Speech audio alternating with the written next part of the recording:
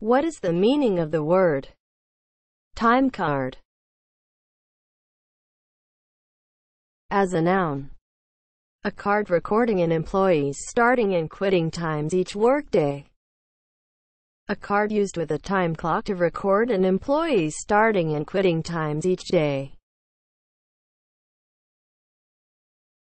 Time card is spelled T I M E C A R D. Time card